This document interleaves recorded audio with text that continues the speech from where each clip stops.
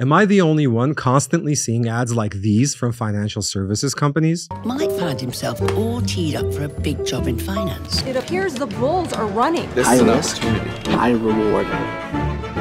That's a wake up call. I think we should move you into our new fund. Sure. Okay. It seems like there's a buzz about how to manage your money correctly. Today, I'm going to talk a bit about, first of all, how to have money. Then, once you do, what you should be doing with it. I'll even give you some insights on how I make my money work for me instead of me working for money. Stick around.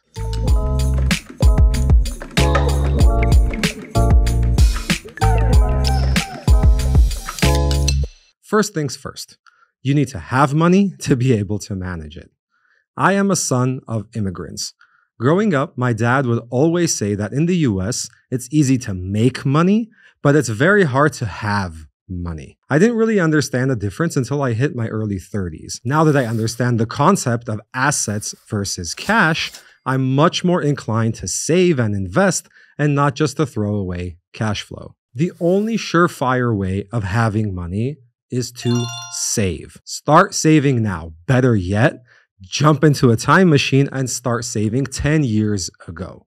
This is crucial. Don't spend any money whatsoever. Pay your rent, your utilities, eat, buy some clothes, and that is it. Every time you go out to a restaurant or a bar and spend a hundred bucks, bear in mind that you're actually spending on average $2,500. That 100 could have been 2,500 if you had saved for your retirement. It's a mindset issue. Now, every time I close a tab at a bar, I will think, well, there goes $2,500 down the drain. You have to start thinking about every dollar you get as a potential asset. But once you spend it, it just becomes cash flow. It's estimated that if you save 50% of your income, you can reach financial independence. And if you're really lucky, you can retire 15 years from now. Take Chris Reining. He's an average Joe employee in the IT sector. His income was nothing too spectacular, but he was able to live a very modest lifestyle, and he saved 50% of his income. He retired at the age of 37 with over $1 million in the bank. Another awesome example is our favorite YouTube star, Mr. Beast. In a recent interview, he mentioned that until a couple months ago, he lived in a $500 a month, very modest apartment. He had to move recently because of security issues. Somebody broke into his house.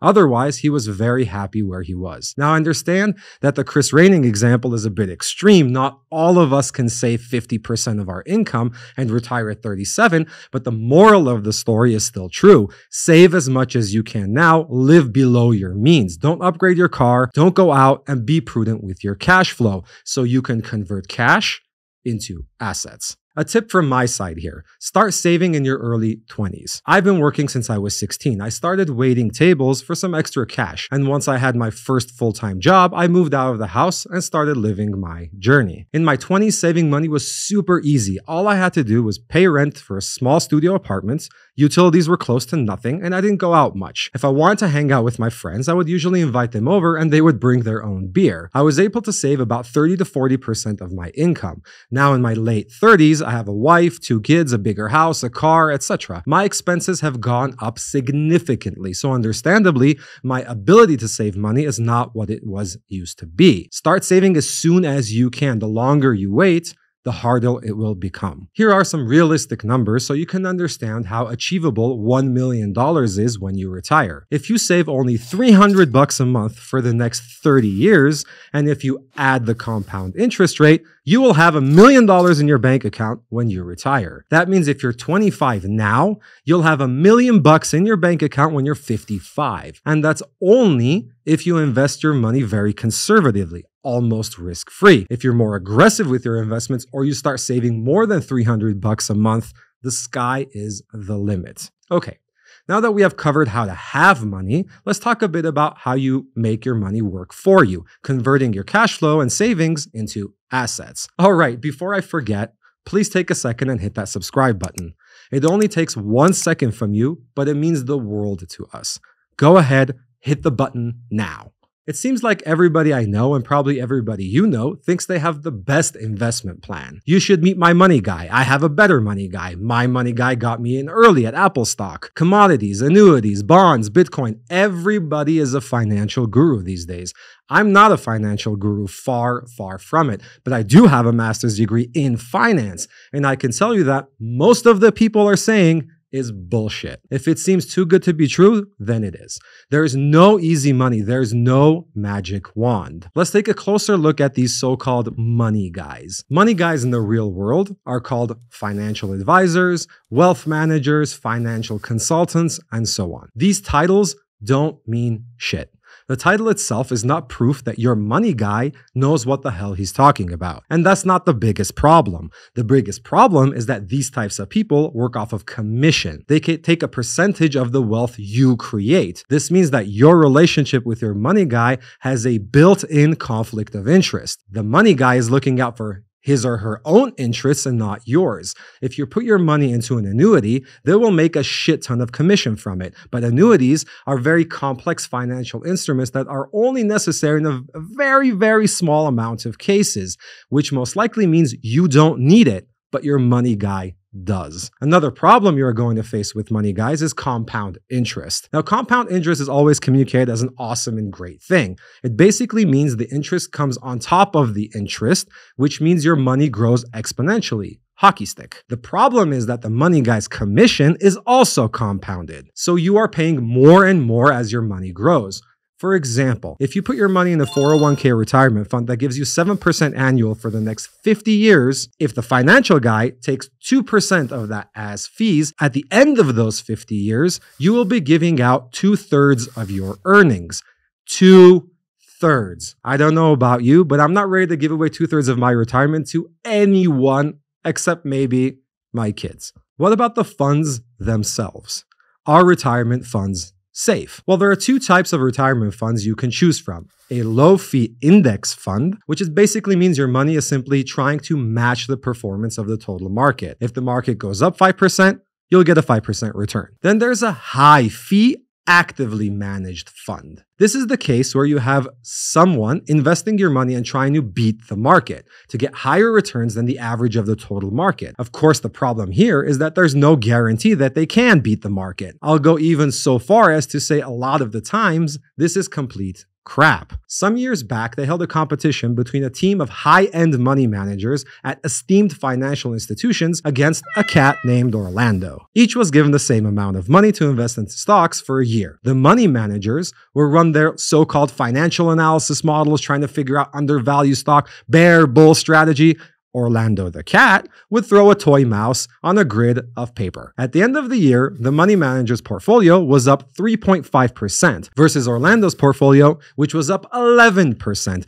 The cat probably charges fewer fees as well, so you're better off throwing a dart to pick a stock. Most money managers themselves keep their own money in low index funds. So to recap, to have money, you need to save up as much as possible as soon as possible. And don't get caught up in whatever the money guy is advising you to do. They might be in it to benefit themselves. So, what should you do with your money? Well, here's what I do.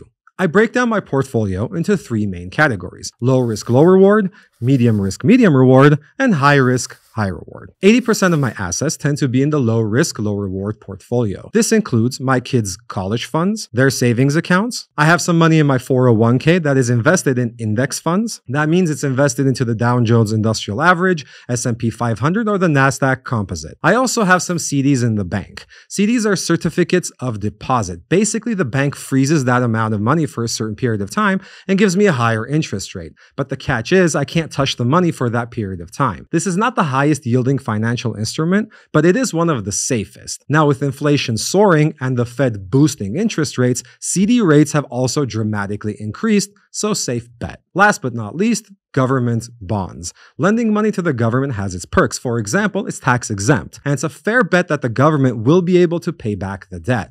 Once again, 80% of my investments go into this low risk, low reward strategy. So out of every 100 bucks I save, 80 goes into one of these accounts. I started with 100% of my savings going here, but as the portfolio grew and I became more financially independent, I started diversifying into some more risky investments. If you're just starting out, index funds are definitely your best bet, then government bonds, then the rest. My medium risk, medium reward portfolio includes real estate. I have both commercial and residential real estate as an investment. Buy to rent is the safest bet here. You put a 20% down payment on a house or an apartment and you rent it out. The rent should cover the mortgage payments. So you're banking on the market going up so you can get capital gain. Even if it doesn't, you should be able to pay off your mortgage in 20 years or so and you end up with a clean asset, the house itself. I know a lot of people say real estate is low risk, ultimately the prices will always go up and so on. But the reason I put real estate investments into medium risk category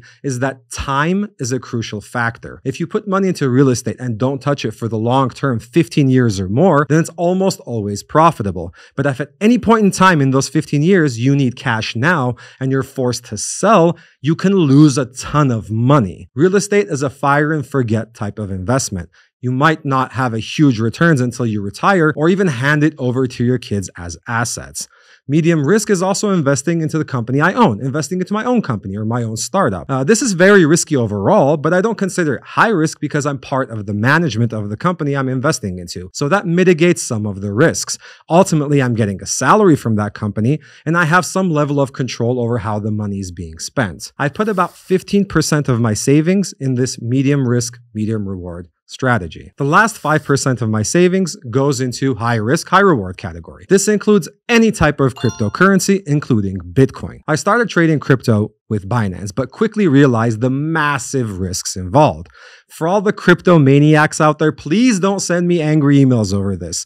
Although Bitcoin has merit as a financial asset, there is so much speculatory trading going on that's still a very high risk move.